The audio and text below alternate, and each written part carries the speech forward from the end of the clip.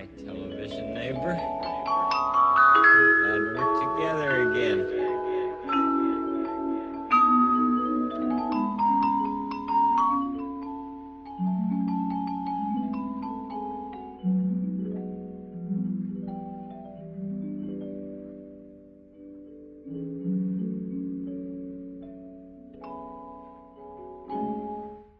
Yeah.